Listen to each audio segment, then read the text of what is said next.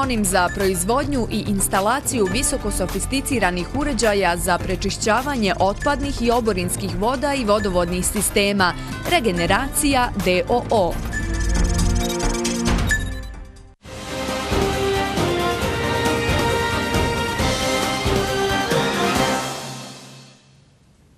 Dobar dan, počinje dnevnik televizije Alfa iz sadržaja izdvajamo.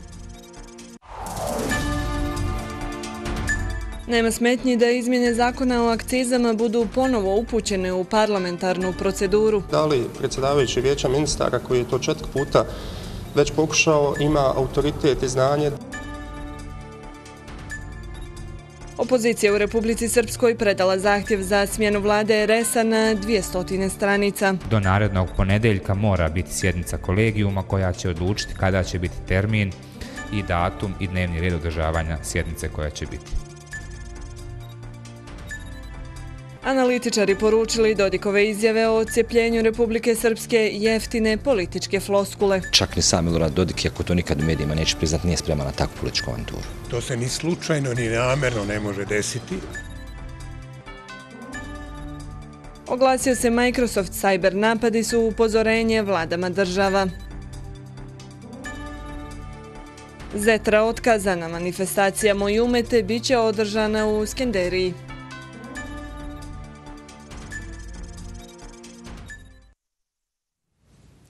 Pred zastupnicima parlamenta Bosne i Hercegovine uskoro bi se po peti put mogle naći izmjene zakona o akcizama. Hoće li ovaj pokušaj povećanja akciza za 15% zarad izgradnje autoputeva u našoj zemlji biti uspješan zavisi isključivo od predsjedavajućeg vijeća ministara. Da li Denis Zvizdić ima znanje i autoritet da predoči sve prednosti ovih izmjena, moglo bi biti poznato za 20 dana. Pojedini zastupnici najavljuju da će se usprotiviti ponovnom vraćanju akciza na dnevni red sjednice predstavničkog doma. A iz SDS-a tvrde da se sporne izmjene zakona, nakon što su pale u parlamentu, u proceduru ne mogu vratiti u narednih šest mjeseci. Akcize su opet predmet. Vidimo da se opet najavljuju akcize. Želim da e, upozorim da po poslovničkim normama zakon ukoliko padne u parlamentarnoj proceduri e, ne dozvoljava mu se da bude opet u parlamentu e, u proceduri narednih šest mjeseci. Izgleda da Govedarica nije upoznat sa izmjenama poslovnika predstavničkog doma od juna 2014. godine. Naime, sporna odredba o vraćanju palog zakona u parlamentarnu proceduru tek nakon šest mjeseci je obrisana, pa apsolutno ne postoji nikakve pravne prepreke da se izmjene zakona o akcizama po peti put nađu na zastupničkim klupama. Apsolutno ne postoje bilo kakve pravne prepreke, poslovničke i tako dalje. E, zakon se može vratiti u proceduru u bilo kojem trenutku. Arnaut tvrdi da forma izmjena zakona o akcizama nije upitna. Upitno je da li je predsjedavajući vijeća ministara sposoban da predoči javnosti sve prednosti ovih izmjena. Suštinsko pitanje je da li predsjedavajući vijeća ministara koji je to četk puta već pokušao ima autoritet i znanje da javnosti, ali i onim poslanicima koji su glasali protiv akciza, ukaže na prednosti ovih zakona, one mogući kritičare i tako dalje. Mi smo, nažalost, čuli puno bolje argumente od e, nevladinog sektora, od eminentnih profesora ekonomije nego što smo to čuli od onih koji su trebali primarno se boriti za ovaj zakon, a to je prije svega predsjedavajući vijeća ministara. Primarna obaveza da izloži svu pozitivnu argumentaciju uvođenja akciza bila je na predsjedavajućem Zviziću, koji nije uspio prethodna četiri puta, kada su akcize doživjele potpuni debakl. Akcize pojašnjava Arnaut nisu samo izgradnja puteva. Nove saobraćajnice su žila kucavica evropskog puta, otvaranje tržišta, novi zapošljavanja, ali i cjelokupnog rasta BH ekonomije. U procesu pristupanja Bosne i Hercegovine Evropskoj uniji sektor poljoprivrede bit će najviše pogođen promjenama, no prije svega BH vlasti trebaju usvojiti poljoprivrednu strategiju. Poručio je to šef delegacija Evropske unije u našoj zemlji Lars Gunnar Vigemark nakon sastanka sa predstavnicima 12 poljoprivrednih udruženja iz 8 evropskih zemalja koji borave u Sarajevu. Poljoprivreda je jedan od najefektivnijih sektora i bit će pogođena na pozitivan način, kazao je Vigemark, dodavši da je to jako bitna stavka na putu Bosne i Hercegovine ka kandidatskom statusu u Evropsku uniju. Iako još nije kandidat, to nije razlog ili prepreka da naša zemlja ne počne sa pripremama za buduće aktivnosti na toj relaciji. Potrebna je bolja organizacija i u budućnosti se nadam da će se na kohertni način odgovoriti na procese i da će se usvojiti državna strategija u sektoru poljoprivrede. Urgiram na vlasti da rade na tome i nema razloga da se čeka. Ipak Bosna i Hercegovina je mnogo napredovala u posljednjih deset godina u sektoru poljoprivrede i staknuli su predstavnici evropskih poljoprivrednih udruženja koji su i ranije boravili u zvaničnim posjetama našoj zemlji. Biće puno teških situacija, no međutim kroz taj proces mi smo naučili određena pravila i ta pravila su nas zapravo i usmjerila prema boljim stvarima. Da prolazimo krizu kao što prolazite i vi, um, nije lako niti u Evropskoj uniji, Vjerujem da ćete svi i vidjeti kako je trenutno stanje na tržištu, ali ako idemo svi zajedno, zajedno ćemo biti jači. Evropska unija prolazi kroz reformu poljoprivrede. Znamo sve izazove koje ćemo podijeliti i sa vama. Dolazim iz zemlje koja je jedna od poljoprivredno najrazvijenijih zemalja. Tu smo vam na raspolaganju. Pomoći ćemo vam na sve moguće načine. Predstavnici evropskih poljoprivrednih udruženja borave u trodnevnoj posjeti našoj zemlji. Biće ovo prilika i za razmjenu iskustava sa domaćim poljoprivrednicima. Sead Jusić, zamjenik ministra odbrane Bosne i Hercegovine, više nije član SBB-a. Saopćeno je iz te stranke nakon pisanja medija o postupcima Jusića. Kako su naveli, SBB nema nikakvih političkih veza ili odgovornosti u ponašanju i odlukama Jusića u kakve spada i navodni nepotizam protiv kojeg se ta stranka bori od osnivanja. Podsjetimo, SBB je uputio inicijativu za smjenu Jusića, a potom ga je isključio iz članstva nakon što nije proveo odluke Ustavnog suda Bosne i Hercegovine u vezi proslave 9. januara kao dana Republike Srpske.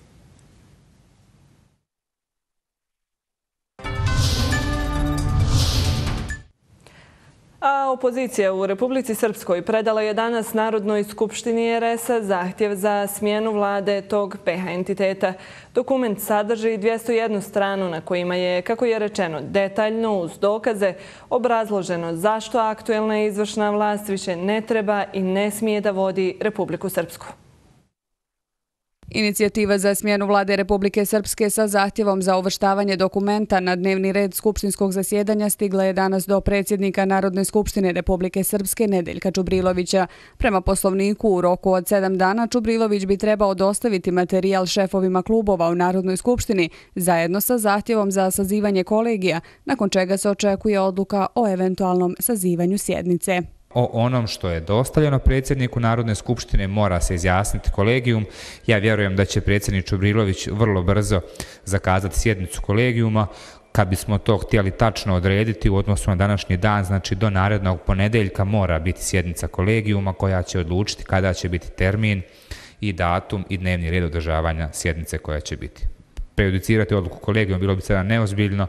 Inicijativa na kojoj su radili stručni timovi PDP-a, SDS-a i NDP-a sadrži 201 stranu. Sastavljači akta su, pored ostalog, ukazali na katastrofalno stanje u privredi, ističući da vlada Republike Srpske nije uspjela smanjiti fiskalna i parafiskalna opterećenja u privredi, nije poboljšala ekonomski i socijalni položaj radnika, te unaprijedila stečajni postupak. Dva puta je povećan ukupan dug, šest puta je veći servis duga, 52% je veći dug po glavi stanovnika u Republike Srpskoj nego u Federaciji, a čak 73% su veći javni rashodi za plate u budžetu Republike Srpske. Jedna od prvih koruptivnih afera je bila, kao što znate, kupovina narodnih poslanika na samom početku mandata, koji je obilježen aferom snimak na kome premijerka Republike Srpske jasno govori kako i na koji način su kupljena dva narodna poslanika. Prema tome,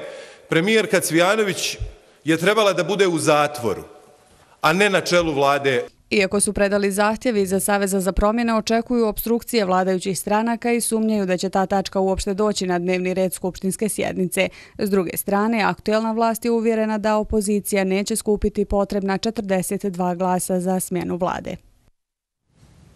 Poznat po oštroj i nacionalističkoj retorici, Milorad Dodik ne odustaje od svojih secesionističkih ideja. Njegove izjave o raspisivanju referenduma o cijepljenju Republike Srpske samo su jeftine političke floskule, saglasni su analitičari. Tvrde, takvi potezi su očekivani baš u ovom trenutku kada je rad vlade manjeg BH entiteta doveden u pitanje. Kada rad vlade RS-a nije bio u fokusu, predsjednik tog BH entiteta govorio je ovako. E, na dnevnom redu Republike Srpskoj sigurno nije e, e, secesija ili bilo kakvi aktivnosti vezano za ocipljenje. Samo dva mjeseca kasnije, u vrijeme uzburkane političke situacije u RS-u, Dodik ponovo poteže za provjerenim receptom kod svog glasačkog tijela. Bilo kad kad se održe uslovi, stvore uslovi, referendum će se održati. I vi nećete da čujete ništa osim drugog nego da ovdje ispekulišete tu priču. Dakle, ja mislim da i SNSD, evo pričamo, imao dugoročnu viziju kada je govorio o tome da se to na taj način može uraditi. Mi nismo propagirali da ćemo uzeti oružje pa ćemo nešto učiniti. Da li će to 1018. ili neke 28. to ušte nije važno sa stanovišta nacionalnog i državnog interesa. Ja sam potpuno uvjeren da će se desiti. Analitičari tvrde, ponovo je riječ o demagogiji. Očekivano i u ovom trenutku kada je dovedeno u pitanje povjerenje vladi Republike Srpske, a sve više radnika svoja prava traži na ulici.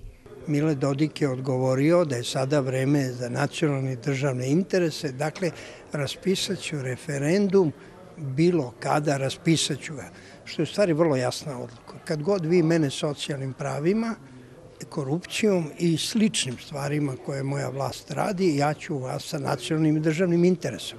Koliko god da je jasno da se radi o jeftinim političkim manipulacijama, ipak one ne doprinose nikakvoj vrsti stabilizacije u Bosni i Hercegovini, pa i odnosa sa regionom. Mislim da je nemoguće očekivati tako šta, jer znate i prošli put kada su bile situacije takve kakve su, da se jeftinim političkim manipulacijama i statističkim argumentima pokušalo ostvariti kao pitanje ovaj volje. Ne radi se naprosto o tome, referendum jesu legitimna stvar u demokratskim društvima, međutim, u ovako dirigiranoj političkoj situaciji to naprosto nije moguće, jer posljedice koje bi proizašle eventualno iz takvog jednog razmišljanja naprosto navodi na situaciju da čak ni sam Milorad Dodik, ako to nikad u medijima neće priznat, nije spreman na takvu političku avanturu. To se ni slučajno, ni namerno ne može desiti, ali evo, hipotetički kad bi se desilo, ja smijem da se kladim da bi e, u Republici Srpskoj najveći deo Srba, daleko preko 50%, bio protiv ocepljenja. A da je riječ o još jednoj političkoj igri lidera manjeg BH entiteta pokazuje i izvještaj koji je RS krajem aprila uputila Vijeću sigurnosti UN-a. Tada je Dodik ustvrdio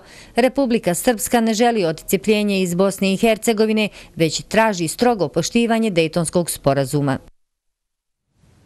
Zbog avionske nesreće u kojoj je život izgubilo pet osoba, među kojima i troje djece u Mostaru, će sutra biti dan žalosti. Na stradalim će biti upriličena i zajednička komemoracija u domu Herceg Stjepana Kosače, a potom i posljednji ispraćaj mališana Lane i Luke Lovrić ispred gradske mrtvačnice Bijeli brijeg.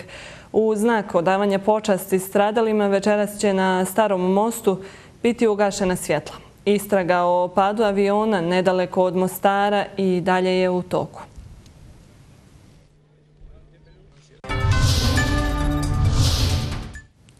U Tuzli je danas obilježen dan odbrane tog grada, odnosno 25. godišnjica bitke na Brčanskoj Malti, jedne od ključnih za odbranu grada Soli. 15. maja 1992. godine pripadnici policije i teritorijalne odbrane Tuzla zaustavili su napad rezervista bivše Jugoslovenske narodne armije. U čast poginulih i teško ranjenih odata je počast i položeno cvijeće na spomenicima tuzlanskih branitelja. Nakon što su iz kolone koja je formirana mimo vojnih pravila jer su vojnici JNA transportirani zajedno sa minsko-eksplozivnim sredstvima i zapaljivom tečnošću, počeli pucati po civilima i civilnim objektima, tuzlanski policajci su na vatru odgovorili vatrom. 25 godina je prošlo, još nekih ima špekulacija, bilo je ovako, onako, ali evo, dovoljno je rečeno i od naših gradskih vlasti i od fondacije, od svega, da mi nismo započeli tu prvi ništa, jer bili smo sa zadatkom samo da obezbijedimo bezbjedonosan izlaz za koloni. Kontraverze su iz osnovnog razloga što je Tuzla bila jedan fenomen u najteže vrijeme očuvala jedan građanski koncept zajedničkog života, multikulturalnost, multietičnost i sve te civilizacijske vrijednosti ne uklapaju se u etničke podjele ukupne u Bosni i Hercegovini. Inače, za dešavanje na Brčanskoj Malti do sada je dva puta bio osuđivan Ilija Jurišić, ali ga je apelacioni sud u Beogradu nakon devetogodišnjeg procesa oslobodio odgovornosti za ratni zločin. Potjernicu je Srbija raspisala i za bivšim načelnikom stanice javne bezbjednosti Tuzla Mešom Bajrićem te ratnim načelnikom Tuzle Selimom Bešlagićem. Nije red da Tuzla ima stigmu da je izvršila zločin. Kad je Tuzla postala sinonim kako se brani građanska čast i kako se u eri nacionalizama može sa građanskim principom pobjediti to zlo. Prema podacima fondacije Istina pravda pomirenje na Brčanskoj Malti tog dana poginula su tri pripadnika stanice javne bezbjednosti Tuzla i 33 vojnika iz kolone. Inače, porodice stradalih vojnika JNA ove godine nisu položile cvijeće u Tuzli, jer kako tvrde, mjesto stradanja nije obilježeno na adekvatan način. S druge strane, političari manjeg BH entiteta ističu da se ne osjećaju sigurno u Tuzli.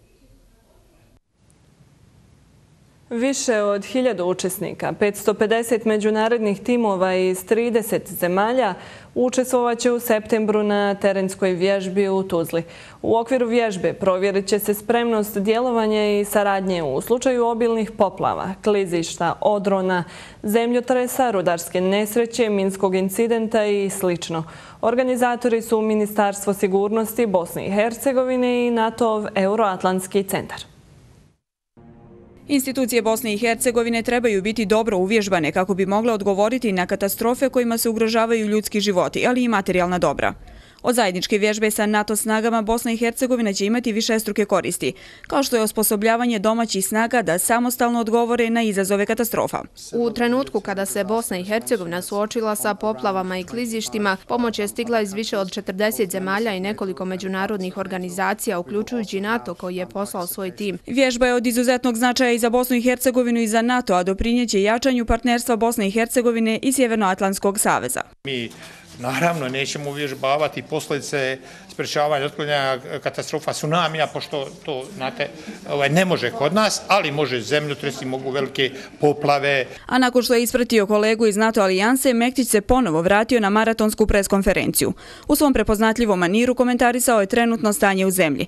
Tvrdi da je najgora situacija u tužilaštvu i pravosuđu, te da se nakon smjene glavnog tužioca ništa ne dešava. Ja sam spreman nek počne da se radi nešto odmah sutra od Ni dana neću ja biti na ovoj poziciji, e, ovakav kakav sam, nikakav. Tvrdi Mektić da je sada mafija u Bosni i Hercegovini jača nego ikada. Ni krivični postupak ne znači ništa ukoliko se imovina odmah ne oduzme. Pa videli ste od dvije milijarde štete u Pandori. Pa gdje je markao te dvije milijarde? Pa gdje je optužnica od, od, za te dvije milijarde? Pa nema predmeti u propašten, ja vam govorim, nema tog predmeta. Osvrnuo se ministar i na političku scenu. Kaže, stvarnost u zemlji je onakva kako mi je predstavljaju političari. Bacaju prašinu u oči narodu, a narod, bjedan istrošen moralno, mentalno oskrnavljen, ne zna ni koga vodi. Pa ljudi, ja mrzim politiku, prezirem politiku, prezirem političare. Znači i sebe. Ali, ali prezirem se na taj način i pitam sebe, daj, možemo li nešto da uradimo. Pa kad mogu pljunom na sebe. Pojasnio je svoje satirične stavove, a vezano za sporni vic koji je ispričao na sjednici predsjedništva SDS-a. Kaže, vic govori o časti i cijeni interesa našeg čovjeka u današnje vrijeme. Ipak, pošto je pomenuo privatna imena u vicu, Mektić se ponovo izvinio.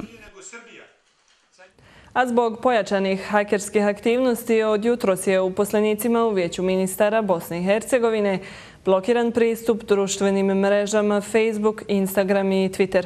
Kako je istaknuto, ove aktivnosti su planirane kako ne bi bili žrtve hakerskih aktivnosti, a sve zbog zaštite sistema državnih institucija. Pristup servisu za razmjenu video sadržaja YouTube nije onemogućen, kao ni pristup društvenim mrežama putem mobilnih telefona. Mi nismo za sada bili e, predmet svih tih hakerskih napada e, koji se dešavali ovih dana. Imamo, e, e, kako bi rekao sad u skladu sa, sa, sa svim tim što se dešavalo, e, neku hitnu reakciju preduzimamo, neke mjere koje bi preduzimali. Ja se nadam da ćemo biti u stanju da zaštitimo.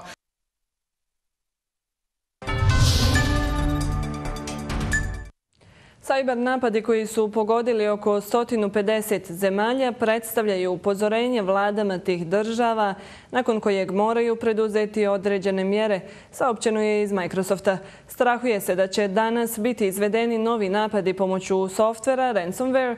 Od petka je globalnim sajber napadom pogođeno više od 200.000 kompjutera.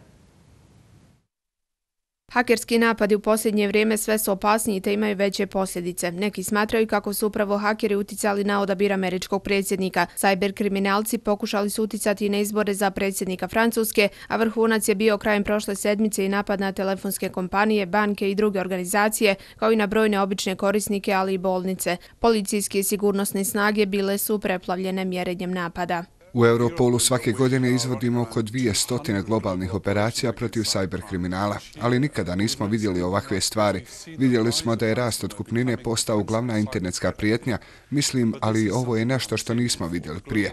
Globalni domet je bez presedana. Najnoviji broj je sad 200.000 žrtava ovog kriminala u 150 zemalja.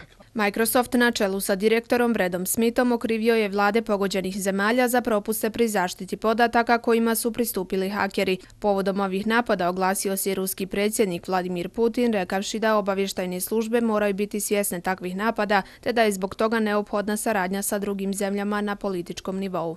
Hakerski napadi koji su pogodili hiljade kompjutera u svijetu trebaju ohrabriti međunarodnu zajednicu da se sajbersigurnošću pozabavi na najvišem političkom nivou. Prošle godine mi smo pozvali američke partnere da se zajedno pozabave sajber problemima, ali nisu uradili ništa po tom pitanju.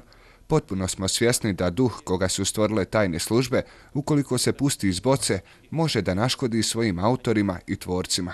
Početak nove radne sedmice u Aziji nije stvorio veće probleme. Berze rade neometano, a zabilježeno je nekoliko napada virusom. Ekonomski stručnjaci procijenili su da bi se štete od globalnog kibernetičkog napada za poslovni svijet i vlade mogle kretati u rasponu od nekoliko stotina miliona do nekoliko milijardi dolara.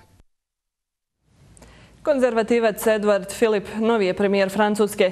Ovaj izbor francuskog predsjednika Emanuela Macrona je potez bez presedana u posljeratnoj Francuskoj, pošto je predsjednik prvi put za šefa vlade izabrao ličnost koja nije iz njegove stranke. Filip naime pripada umjerenom krilu stranke republikanaca. Procijenjuje se da će on biti protiv teže socijalističkim poslanicima koji su podržali Macronovu centrističku agendu. Sjeverna Koreja potvrdila je jutros da je raketa koju je lansirala novi tip balističke rakete srednjeg do dugog dometa koja može da ponese tešku nuklearnu bojevu glavu. Lider te zemlje Kim Jong-un najavio je da će biti izvedeno više nuklearnih i raketnih proba, upozorivši da oružje Sjeverne Koreje može pogoditi kopno SAD-a. Podsjetimo, Sjevernoj Koreji su zbog nuklearnih i balističkih proba ranije uvedene međunarodne sankcije.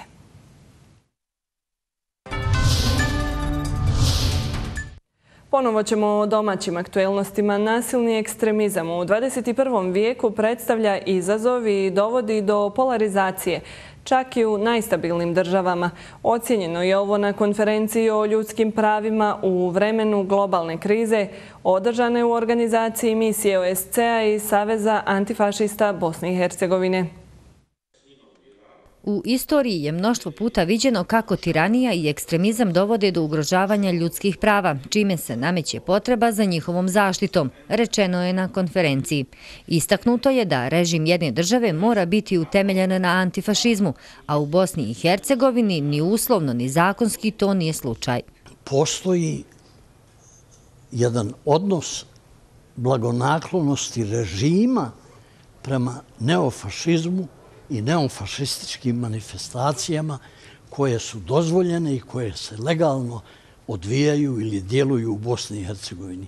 Bosna i Hercegovina nema budućnost bez jačanja organizovanog antifašizma i stvaranja programa koji će Bosnu i Hercegovinu izbaviti iz paralize u kojoj se našla.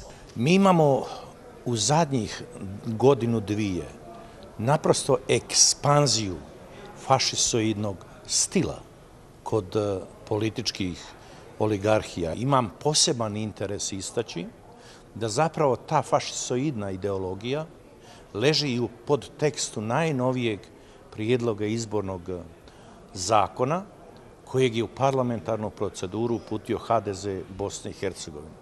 Jer umjesto da nepravde koje postoje po ustavu Bosne i Hercegovine i kojima je dio bosansko-hercegovačkih građana pa i Hrvata segregiran u dijelovima u kojima su nominalno manjinski dio stanovništva, oni nude prijedlog novog izbornog zakona po kojima se ta segregacija proširuje. Satirani smo u ćošak od fašističkih snaga i moramo se ujediniti da pobjedimo fašizam današnjice, saglasni su izlagači. Ljudska zadaća svakog pojedinca je ukazati na zlo koje nas okružuje i boriti se protiv njega. Zaključeno je danas. Regulatorna komisija za energiju Federacije od imenovanja novih članova prije tri mjeseca više nije predmet političkih igara. Rečeno je ovo prilikom današnje posjete podpredsjednika Federacije Milana Dunovića i Melike Mahmudbegović toj instituciji. FERK je institucija gdje smo mi zaista sve troje i predsjednik i oba podpredsjednika e, zajednički predložili listu bez ikakvih problema i po prvi put mislim da je e, na, na parlamentu usvojena takva lista da nije bilo, da je bila zajednički usaglašena e, sva tri kandidata. Mislim da je ovo jedan od rijetkih pozitivnih primjera gdje se pokazalo na praktičan način da politika ne smije biti kočničar nekih procesa. E, konkretno kod Ferka, mislim da je ovo prvi put da se desilo imenovanje svih članova jedne agencije istovremeno. Svi smo konačno regularni članovi Ferka, što se dugo nije desilo. E, I time bi završio, znači naše nemamo mandate da se upličemo u politiku, nas je možda politika dovela tu, ali sad je na nama obaveza da radimo tehnički najispravnije što možemo. Pred kraj dnevnika još informacija da će se centralna predramazanska manifestacija Rijaseta i islamske zajednice u Bosni i Hercegovini Moj umete održati 25. maja u Skenderiji, umjesto u Zetri kako je bilo planirano. Podsjetimo zbog određenih nedostataka u pogledu sigurnosti posjetilaca, MUP kantona Sarajevo zabranio je bilo kakva okupljanja u Zetri. Iz organizacijonog odbora saopćili su da sadržaj i kvalitet programa manifestacije neće biti upitan niti izmijenjen.